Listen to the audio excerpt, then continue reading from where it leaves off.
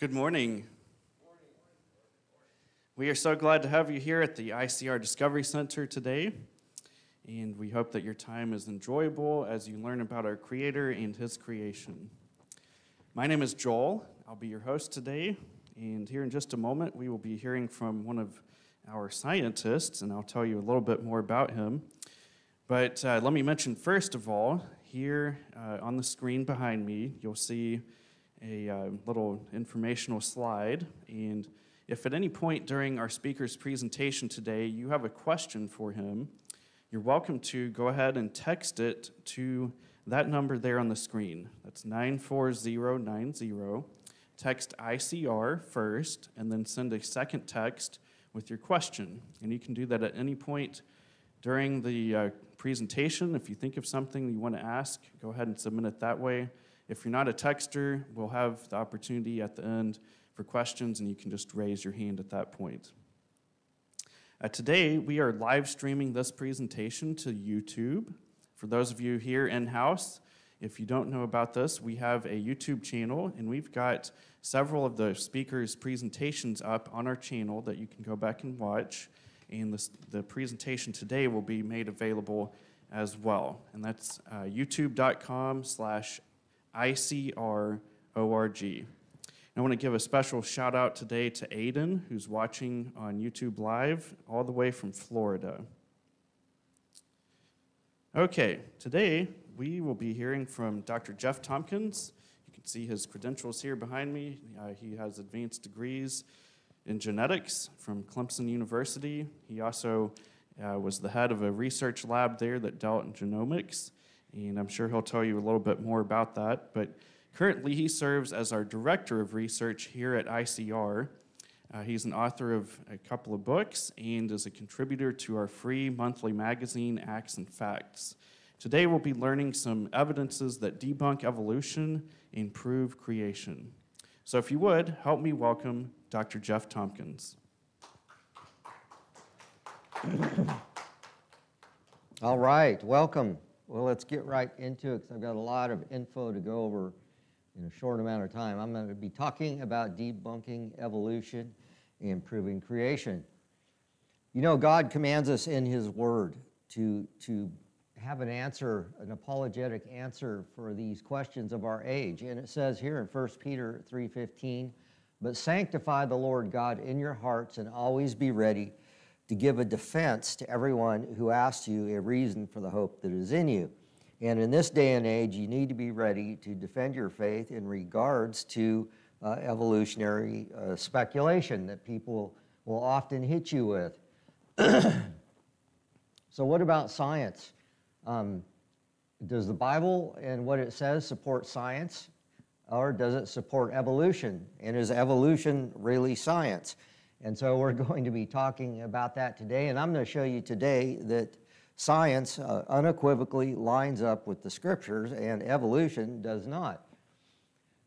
And in fact, God says this in His Word. In uh, Romans 1:20 uh, through 22, the Apostle Paul said, For since the creation of the world, His admissible attributes are clearly seen being understood by the things that are made, even his eternal power and Godhead, so that they are without excuse, because although they knew God, they did not glorify him as God, nor were thankful, but became futile in their thoughts, and their foolish hearts were darkened. Professing to be wise, they became fools. So, according to the Word of God, if you really take a serious look at the world around you and you look at creation, God's existence, even his Godhead, is undeniable.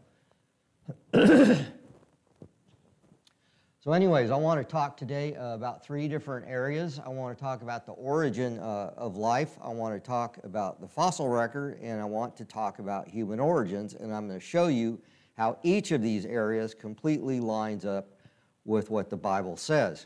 So, let's start with uh, biological evolution and the timeline the evolutionists will give you if you go to a, a, secular university and take classes in evolution, they will tell you that 4.6 billion years ago, the Earth uh, somehow magically evolved.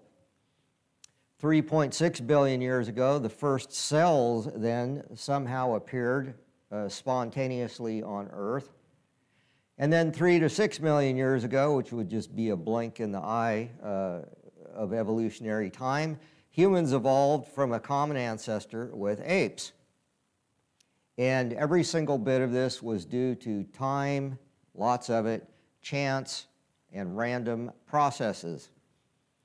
So, what is this biological model of evolution that, that is being pushed? Well, first of all, you need to have chemicals that are, that are biologically significant um, form in some sort of a primordial soup. These chemicals then need to polymerize or bond together to form uh, biomolecules that actually are information rich. And then these molecules somehow are supposed to have magically come together to form cells. And then these single cells then over millions uh, of years evolved into multicellular creatures, into all the plants and animals uh, that you see on the earth today. And so anyways, this is the basic uh, evolutionary story. The fact of the matter is there's only two way, there's only two options as to where uh, life came from. Life either evolved by natural processes, and once again, time and chance and random processes, which you can call materialism, and somehow that created life, or life was created by a creator. There really are no other options here. Either life created itself or a creator created life. So, what does the evidence point to?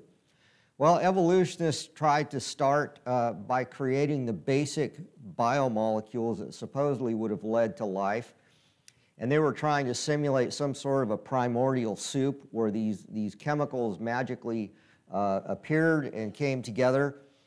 And to do this, they had to use a highly engineered contraption.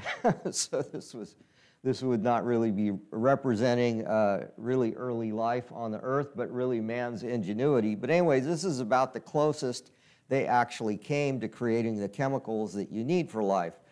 So in this in this uh, contraption, basically you had water and um, ammonia that was boiling there, and then the vapor uh, from that went up through a tube, and then it went into a chamber or an electrode, um, was basically charged across these, uh, these gases. And then uh, the compounds were then condensed and then in, at a trap at the bottom of this contraption, then you could pull off these chemicals. The problem is, is if you let everything keep cycling around in a circle, you would destroy the chemicals as fast as you made them. So they had to have this trap uh, at a bottom. So anyways, they claimed that this engineered contraption somehow represented a, a crude uh, pool in the primordial Earth where life somehow magically got started, supposedly maybe by lightning strikes, uh, zapping the pool or something like that. So uh, there was a lot of problems with this experiment. And first of all, they were only able to create very small, minuscule amounts of the very simplest amino acids needed for life. So amino acids are the building blocks of proteins. And proteins are kind of the powerhouses uh, in your cell that, that do a lot of the work.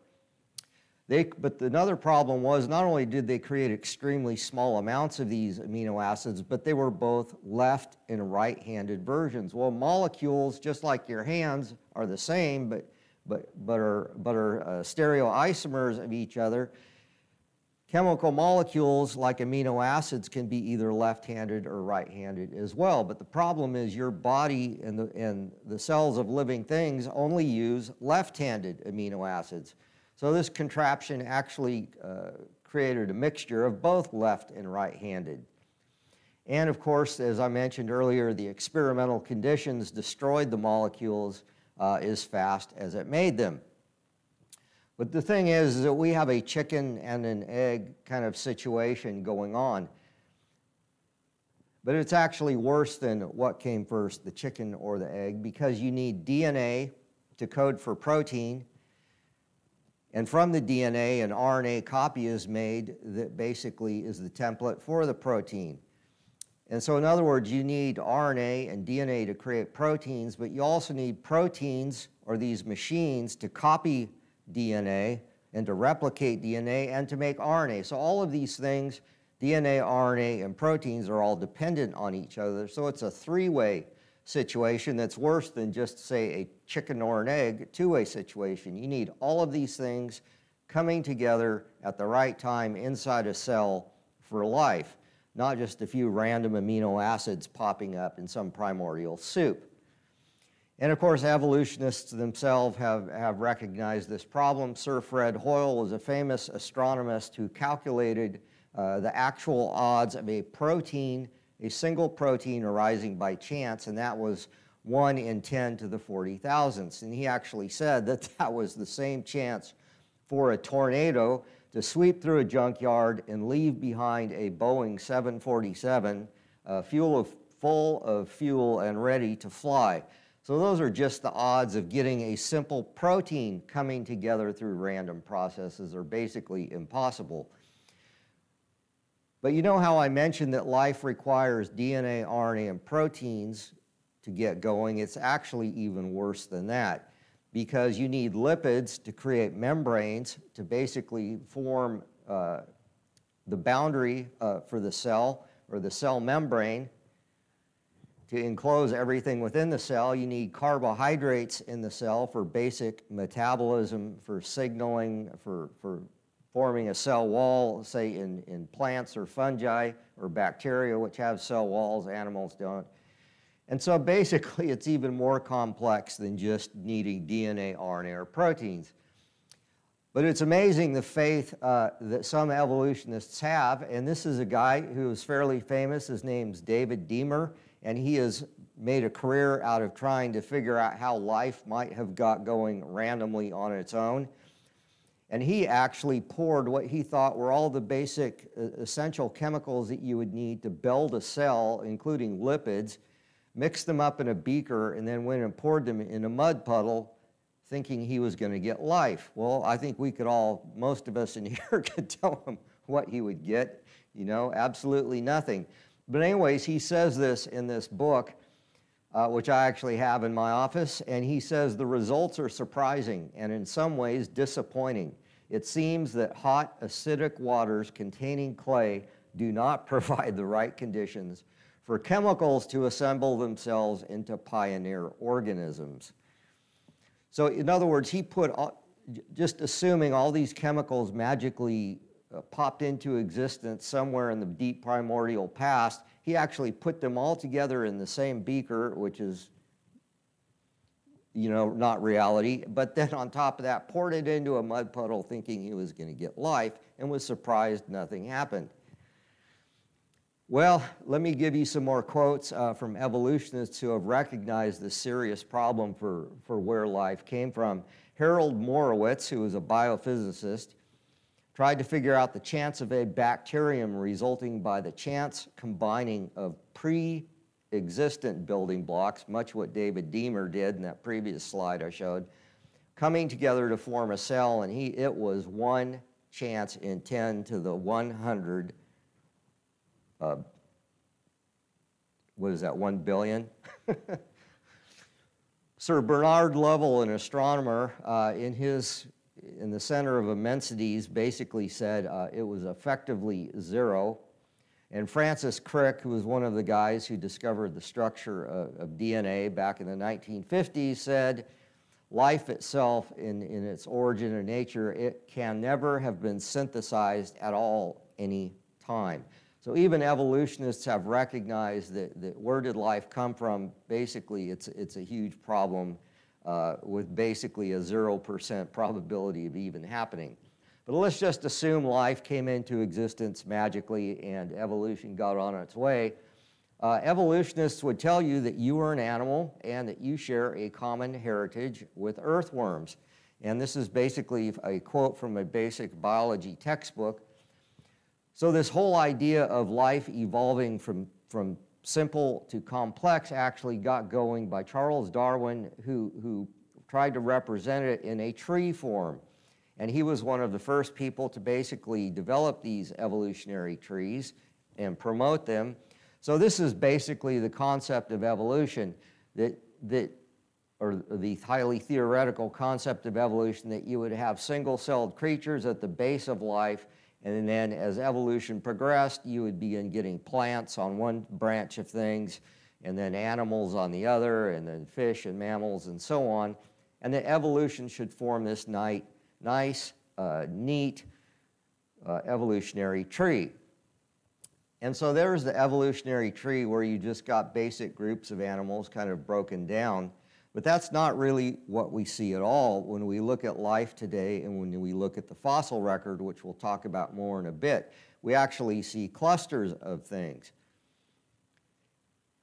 And that's exactly what the Bible tells us that everything was created after its kind and that its seed is in itself and it only reproduces after its kind. And so humans only make more humans, dogs only make more dogs, and frogs only make more frogs, and roses are just roses. We never see one fundamental type of creature evolving or changing into a new one. And of course, the scriptures are quite accurate on that.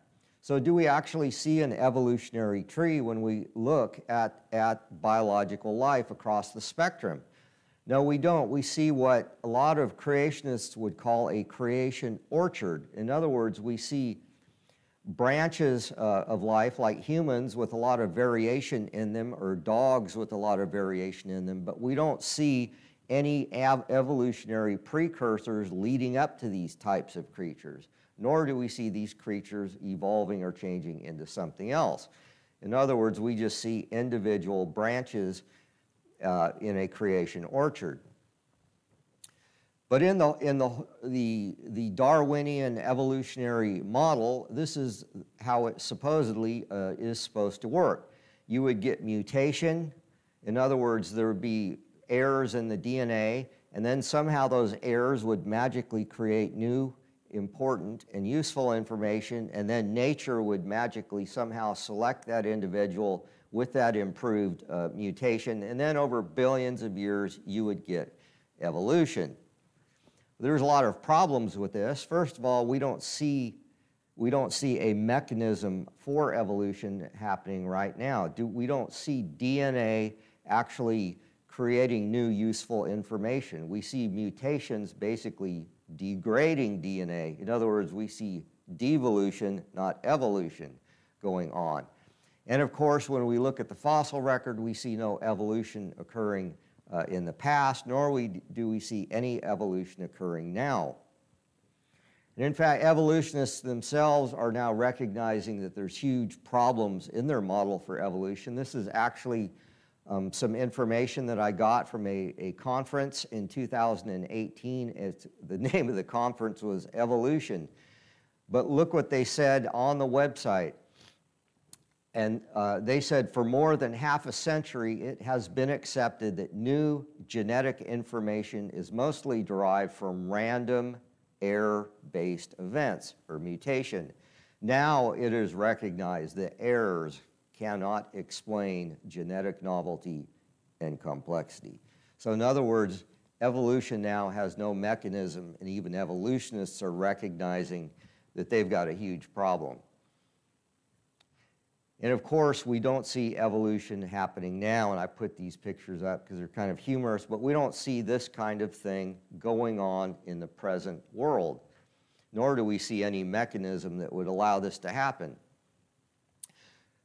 But more, more importantly, we don't see evolution happening in the past. So let's talk about fossils. Let's talk about the fossil record. What do we see in the fossil record? Well, we see sudden appearance. In other words, different types of creatures, whether it's apes or humans or different kinds of fish or whatever, they all appear suddenly in the fossil record with no evolutionary ancestors. They appear fully formed, just like God created them. And we also see creatures staying the same, and paleontologists would call this stasis. In other words, a creature will appear suddenly and then it will stay the same. And in fact, there's many creatures in the fossil record, which I'm going to show you, are hundreds of millions of years old, and they look exactly like their modern living counterparts. That's called stasis. And we don't see any transitional fossils. We don't see one type of critter evolving into a fundamentally different type of creature. There's no transitions going on in the fossil record. And so this is Stephen Jay Gould. He was probably one of the most famous evolutionists of the modern era.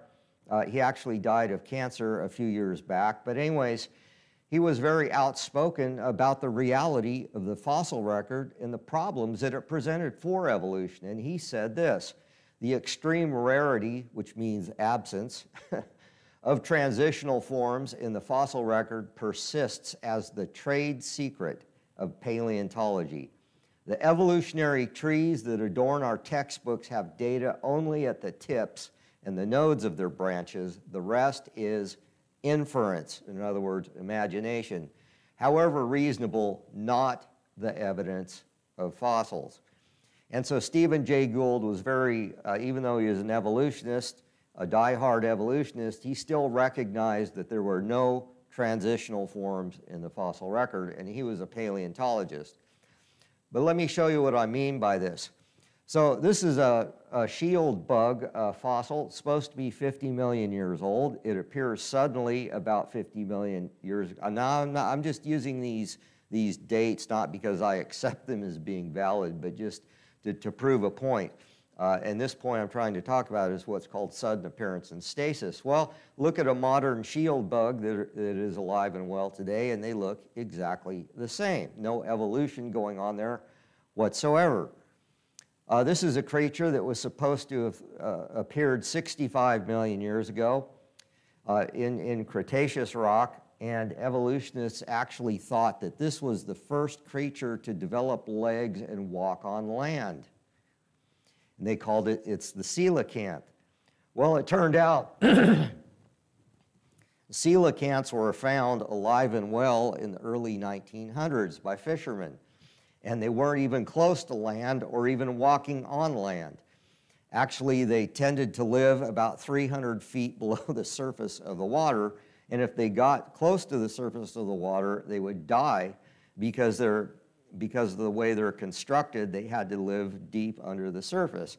And so they weren't even close to walking on land, and they looked exactly the same as they do in the fossils. And so evolutionists called them living fossils.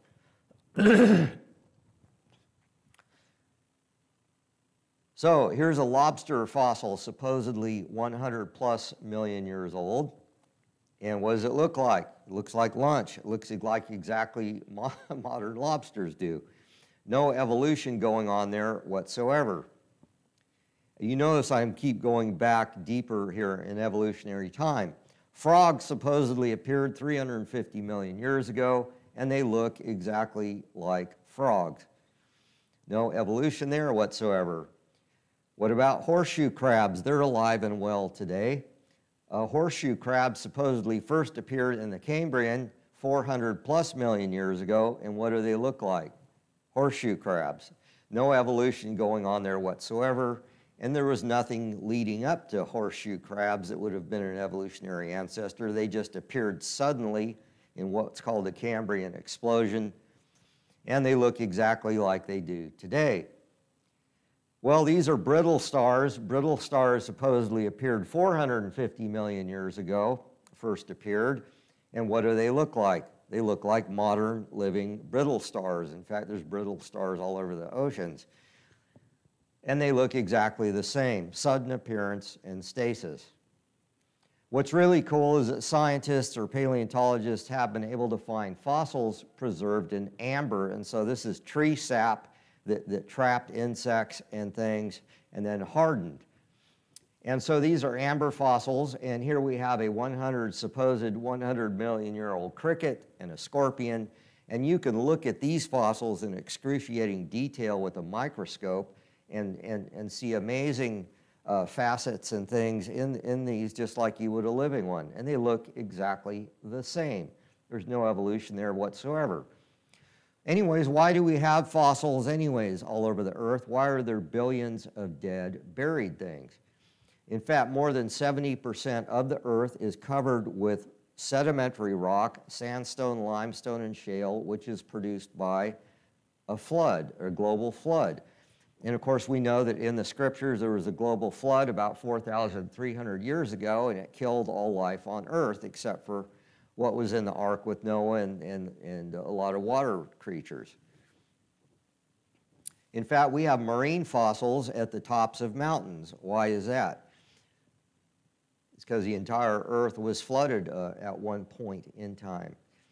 Only cataclysmic processes can account for the many types of the geological features that we see all over the Earth, including all of the billions of dead buried things, or the fossils.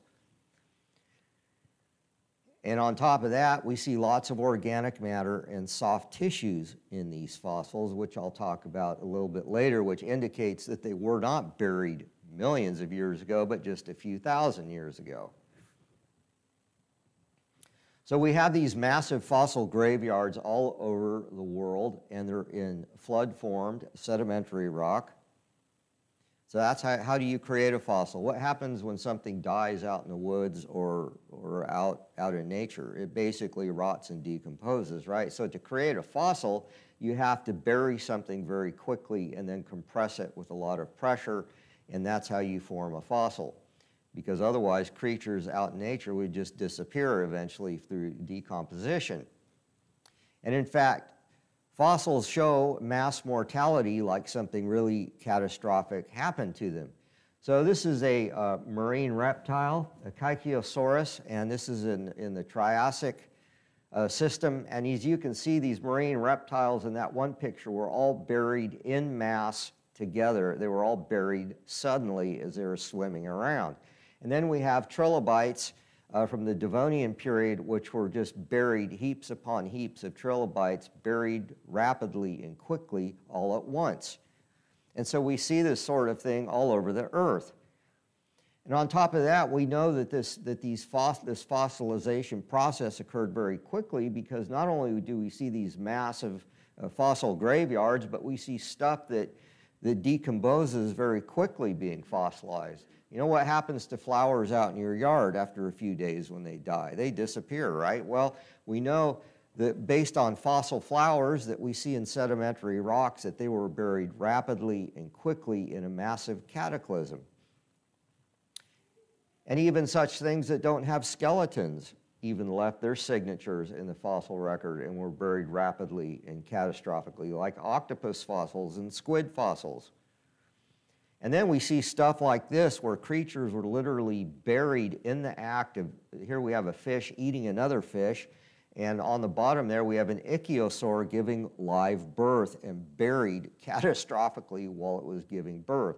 So this tells us that, that Noah's flood uh, is true. It just, it was a violent cataclysmic uh, process that created these things. Uh, this is one of my favorite fossils, and it's kind of hard to tell what's going on there, but there's a schematic kind of showing what's going on, and this is actually from National Geographic. So here's what an artist did to represent uh, what was going on in those fossils I just showed you. Basically, it was a snake was in the uh, nest of a sauropod and eating the eggs and the young baby sauropods, and it was buried in the act. But another interesting thing uh, with fossils, we know that they weren't buried millions of years ago because we have this soft tissue present in them. So this is actually tissue from the bone of a T-Rex. And it's soft and it's springy. And on top of that, they found blood cells that were intact in these T-Rex bones. And there's actually a blood cell inside a blood vessel. And this is all published in the secular, you know, the secular literature.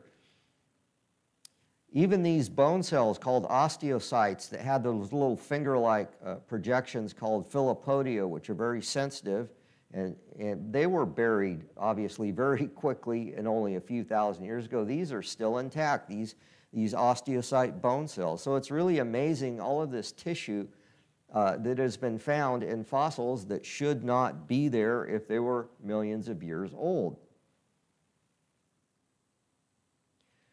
So let's look at the geological column. Does it really talk about or, or, or point to evolution? So according to uh, evolutionists in sedimentary rocks, you don't have a whole lot of stuff there where you can radiometrically date things. So they date things by the fossils, and sometimes they date the fossils by the rocks, and it's all circular reasoning. But they claim they claim that, oh, life evolved, you know, from creatures in the ocean, and then these creatures went to land, and then from land, and so on and so forth. But really is what the geological column tells us is that stuff was buried by ecosystems. So we know the global flood happened over a year-long period. We can read that in the book of Genesis. So what would be buried first in that kind of a progressive flood? Well, marine creatures, right? So that's exactly what we see in the fossil record. And we see all these marine creatures and all the complex body plans associated with them, and many of these creatures are still alive today, showing up in the Cambrian strata, which would be the first uh, flood strata layer. And then, and then we see stuff that would be living more in coastal environments and shallow water showing up in the fossil record. And then in the uppermost layers, in the Cenozoic layers, then we see stuff like mammals and, and, and, and insects and angiosperm plants and things that you would expect to be living at higher elevations. So basically, it's an ecological zonation process of burial. It doesn't point to evolution at all. And in fact, Dr. Tim Clarey, a geologist here at ICR, used to work for Chevron, and he has been mapping uh, these mega sequences. So in the oil and gas industry, they wouldn't call something like the Cambrian, uh, they, they, would call it the Sauk mega sequence, and then so on and so forth. But anyways, they correspond to sequences in the geological column, and he has literally mapped out the global flood over uh, North America, South America, Europe, Africa, and now he's working through Asia. And he has shown in his research that, that the marine uh, creatures were buried first, and then creatures from coastal lowlands, and then creatures at higher elevations. And it makes perfect sense. It's just common sense. And he has not only uh, shown that, but he's shown that these continent, that these deposits cover entire continents. So these aren't little local catastrophes. This is a global catastrophe with these layers covering entire regions of continents and also corresponding to each other between continents. And not only that, but we know that the flood happened very quickly because we see these things called polystrate fossil trees. What normally happens when a tree dies out in the wilderness? It, after about you know 20, 30 years or so, it rots and decomposes, right? Well, why do you have these fossil trees extending up through millions and millions of years of layers, assuming they're millions of years, why are they extending through all these rock layers that evolutionists would claim formed over millions upon millions of years? Like a tree is really going to sit there and wait for millions of years to get buried by successive layers. Well, when you look at this, it's obvious it was done in a, in a flood, very rapidly, quickly, and catastrophically and you see these polystrate fossil trees all over the earth. And in fact, here's one that not only goes up through a number of sedimentary layers, but also starts out uh, in a coal layer. And on top of that, why do we see rock layers that are folded all over the earth and not fractured? Well, how can you fold rock if it's, if it's lithified and if it's hard? You can't. How do you fold rock? Well, it has to be soft, right? Anything has to be soft for you to fold it. And so we, we see these rock layers folded all over the earth. And we know from the scriptures that it says that, that at the end of the flood, God, God caused mountain ranges to uplift on the continents, which would fold all these soft sedimentary layers. And we see this all over the world. I mean, it's amazing. There's a, a human being for scale there and here's a layer that's folded at almost a 90 degree angle. And there's another uh, human there for scale, and you can see how, how massive those folds are. Well, how do you do that? You have to do that when they're moist, when they're soft. And then they, and then they lithify in this condition that you see there. So there's a couple of people there. Also, we don't see any erosion between rock layers. They're laid down uh, quite nicely, one on top of another. What's really interesting is that in 1980, Mount St. Helens uh, erupted, and we were able to look uh, at some geological processes in real time and see how things were, were actually created. This was actually a canyon over 100 feet deep that was carved out of, of sediments that were ash and, and, and, sediments that were blown out of Mount St. Helens, uh, basically Spirit, Spirit Lake, um, was breached and a bunch of water came down and these sediments were still soft. They'd been spewed out from the mountain not long before that. And a canyon uh, was carved out that looks like a miniature Grand Canyon. There's another picture. Look, you can see all the different layers in there. Well, like we know they didn't take millions of years to form. This canyon It was formed in a matter of hours. And so it, it's like a miniature Grand Canyon. And so creation geologists were able to look at this and, and, and have excellent proof for how modern geological features like the Grand Canyon were actually formed. Well, let's talk about human evolution just a little bit. And I actually have a, a couple of entire talks I give on human evolution, so I'm just going to kind of give you the highlights. But we know uh, that there is nothing in the Bible talking about humans being evolved from apes. In the Bible, it says that God created man in his own image. In the image of God, he created him, male and female, he created them. He created humans to be fully human right from the beginning. He, they weren't evolved from a population of hominids, as some Christians would try and claim. And in fact, that's, this is really important to the message of the gospel and why Jesus Christ had to come to begin with. Because there was a real Adam, there was a real Eve, they really sinned, they really brought death, corruption, and evil into the world, which explains why we have the presence of evil in the world. And the apostle Paul acknowledged this and said in Romans 5:12, "Therefore just as through one man Sin entered the world, and death through sin, and thus death spread to all men because all sin. And then in 1 Corinthians 15 22, for as in Adam all die, even so in Christ all shall be made alive. So human evolution completely really mucks up the entire gospel story if, if you want to believe that and promote it, because there really was a real Adam, not, not some evolving population of apes. And in fact, when we look at the fossil record uh, for humans and apes, that's really is all we see is apes and humans. Everything in between there is an artist's imagination that they, that they put in the picture to try and get you to believe that humans evolved from apes. And in fact, when we look uh, at the fossil record and we look at humans, human tools, artifacts, and footprints, we actually have the presence of humans on the earth, if you want to accept these evolutionary dates and timelines, we actually have humans on the earth before this group of fossil, fossils called Australopithecines, which were basically supposedly the first hominids evolving from apes. But actually, Australopithecines were nothing more than chimp like creatures. But we actually have humans existing before they did based on uh, based on this archaeological and paleontological evidence.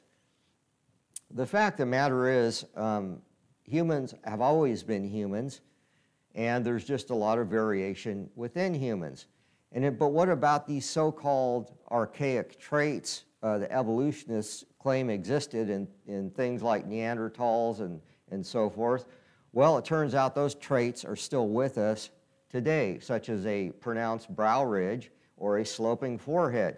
So there's a dentist um, in South Africa who actually is a Christian and takes pictures of his patients that have these features.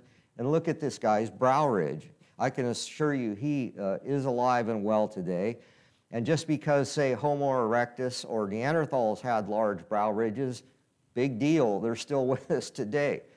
Here's a bunch of athletes uh, from Eastern Europe, and you look at them and they have huge brow ridges and sloping foreheads. And I can assure you they're alive and well and with us today. It's interesting that these characters are actually from the same region uh, of the world where we find a lot of Neanderthal uh, skeletons. What about this guy? Uh, Nikolai Valuev, look at his sloping forehead and his brow ridge. And I can assure you he's alive and well. He was a championship boxer, only lost one match, and now he's a member of the Russian parliament.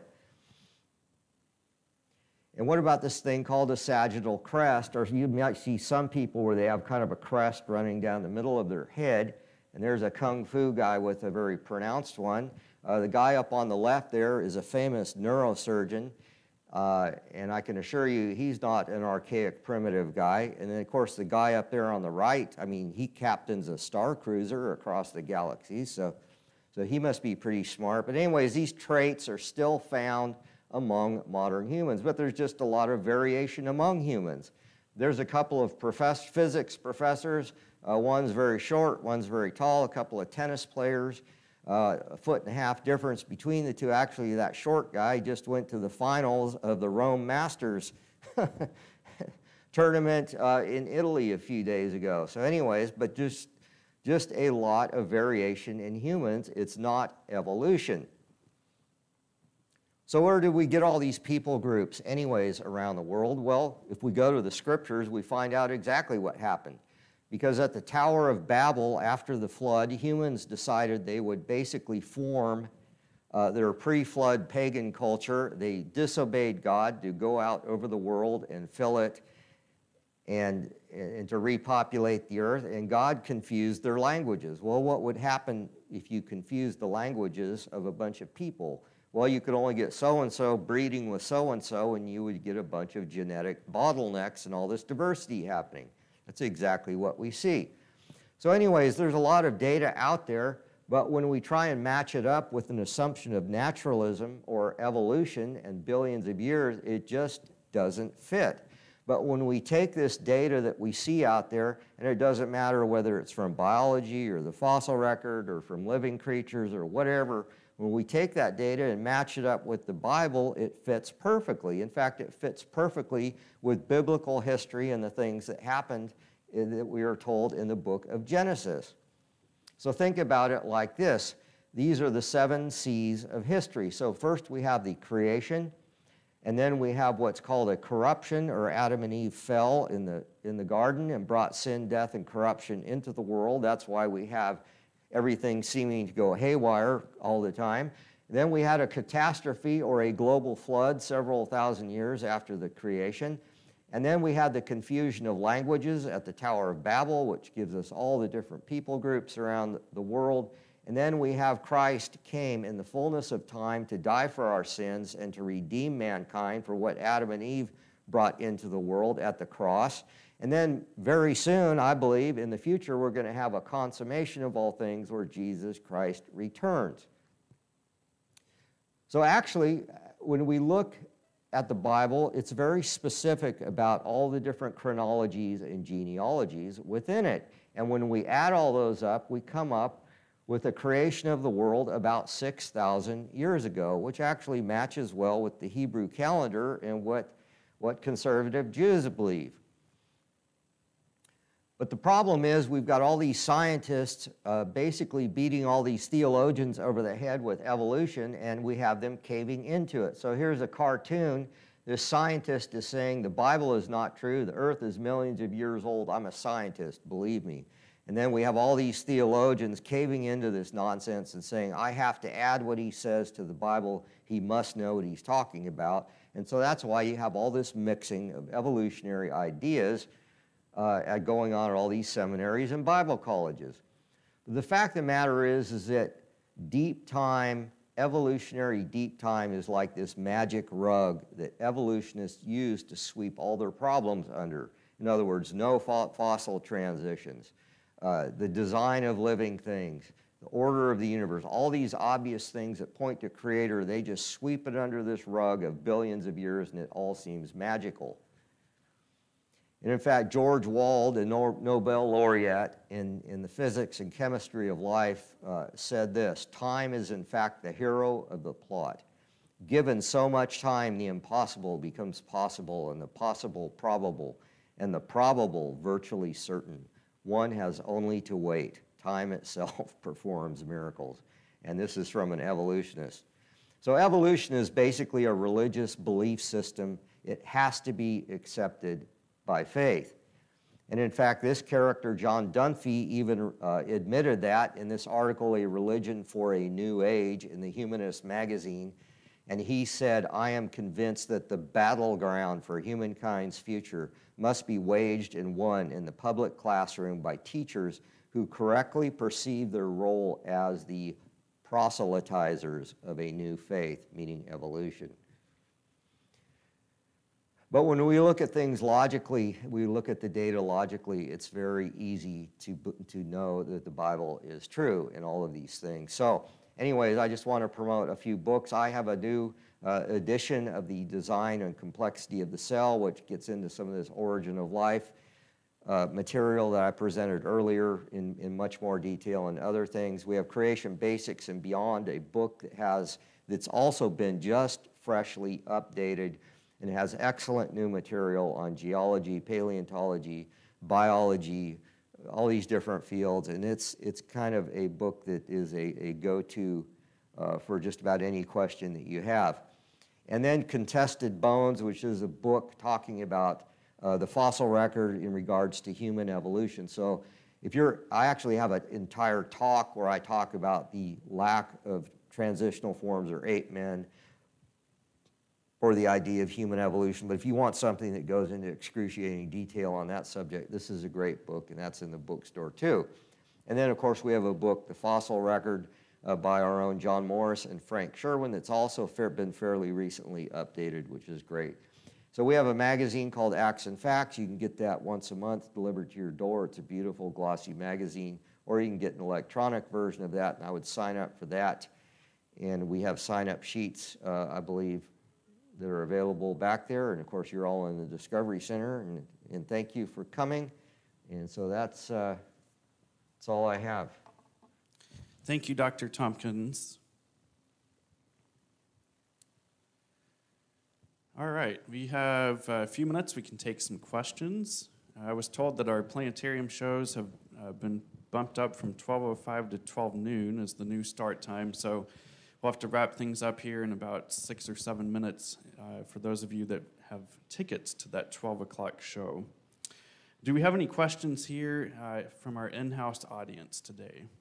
Yes, ma'am, in the far back. Now repeat the question for those of you here. Yes, ma'am.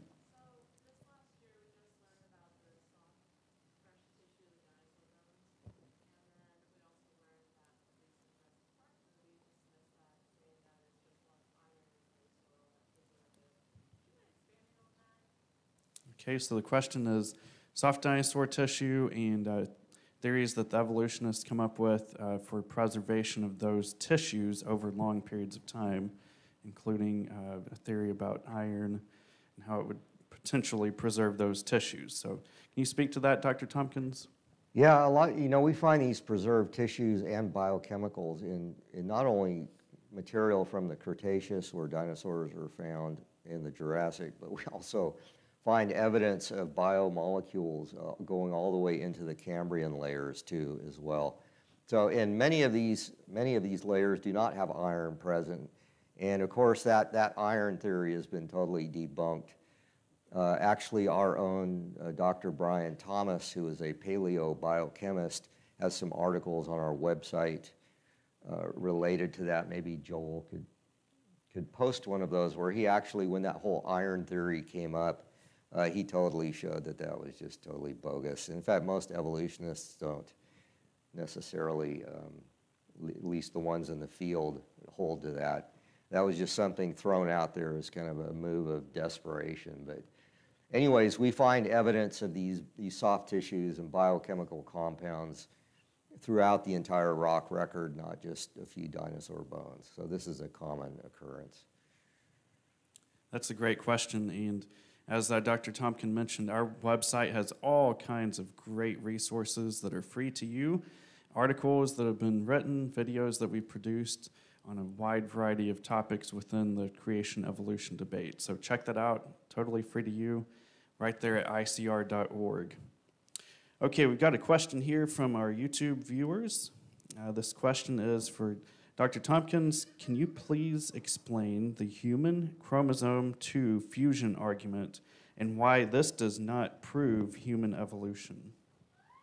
All right, well, I actually have an entire talk uh, on the human chromosome fusion 2, and I could probably talk about that for an hour. Um, I would recommend going to our website. I have a fairly recent article that I published on that that has all the updated information in it. But anyways, the, the so-called signature site um, of the fusion is very corrupt. um, it doesn't really represent a fusion of two intact telomeres. And on top of that, it's in the middle of an active uh, RNA helicase gene. So how do you get two chromosomes slamming into each other and forming an important gene? Well, it doesn't happen.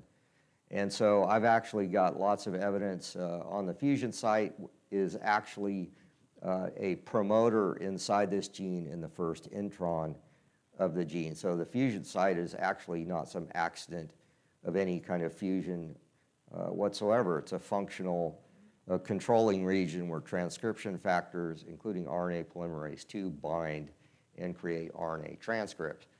And so uh, that's complete nonsense. And then the so-called cryptic centromere uh, also is inside the middle of a gene, and it's also a very poor a very poor signature of what supposedly was supposed to be a centromere. It really, when you look at the, the DNA sequence, it doesn't even represent that at all. Um, but it's also in the middle of a gene, which is a huge protein coding gene and is a transmembrane uh, spanning protein. And so both the so-called signatures of fusion um, are inside active functional genes. And so, which totally debunks uh, the whole fusion scenario to begin with. and that's just the beginning of it. I actually have published out of five or six articles on the fusion um, that you can pull up that address numerous issues as to why it's not valid. So, very good. Great question there. Uh, for those of you here in person today, uh, Dr. Tomkins will actually be speaking again this Friday at 11:05 right here these weekly presentations are free to you, so come back. Uh, you don't have to have a ticket uh, to get into the presentation. Just come back and join us. Uh, and this coming Friday, Dr. Tomkins' presentation will be on human evolution. So we will, uh, you know, evaluate some different claims that the evolutionists make uh, from a scientific and biblical perspective, and he'll address those to kind of throw out some of the arguments that they make. Uh, and uh, then, for those of you watching online, next week, next Wednesday, we will be hearing from Mr. Frank Sherwin, learning about the founders of science. And those of you who are here in the audience again today, you're welcome to come back for those as well. All right, we've got two minutes. Any other questions from our in house audience? Yes, sir. Carbon dating testing. What fallacies might be involved in that method? Well, um, you're asking the wrong guy. we, sorry. Um, we actually have two scientists. One is a, a physicist who, who, actually just wrote a book on radiometric dating, which we sell in the Discovery Center. Uh, that just came out, what, about a year ago, so it's fairly recent. And then, of course, Brian Thomas, who's a paleobiochemist, has uh, written on carbon dating and why it's not why it's not really super accurate. So it's my understanding, um, and I would suggest getting their material to get a good answer to your question. But the, the one thing that I know for a fact is that uh, even though carbon dating is, is, has its problems, uh, why is there carbon 14 in all of these fossils that are supposed to be millions of years old? It shouldn't be there. It's just like, you know, it's like the uh, the soft tissue in these fossils. It should not be there. So why do we have carbon? And we've actually sent, you know, dinosaur bones and other things off to be carbon dated, and they come back full of carbon 14. It shouldn't be there. But uh, having said all that as well, the, the dates you get uh, also have, have their issues with, with accuracy, and I, I couldn't give you the details on that. That's a great question, and uh, that's one we get pretty frequently. So check out that book. It's called Rethinking Radiometric Dating. That's by Dr. Vernon Cupps. And then look for those articles by Dr. Brian Thomas on our website. Well, that's about all we have time for today. Thank you, Dr. Tomkins, for your time. Thank you, those of you here in person, for being here. And we hope that you're able to come back uh, even this coming Friday to hear uh, Dr. Tomkins. Bring a friend family member, uh, someone that might need to hear that presentation, uh, and enjoy your time here today at the Discovery Center. Those of you watching online, we look forward to seeing you next week as we hear from Mr. Frank Sherwin on the founders of science. Thank you all so much for being here today. God bless you.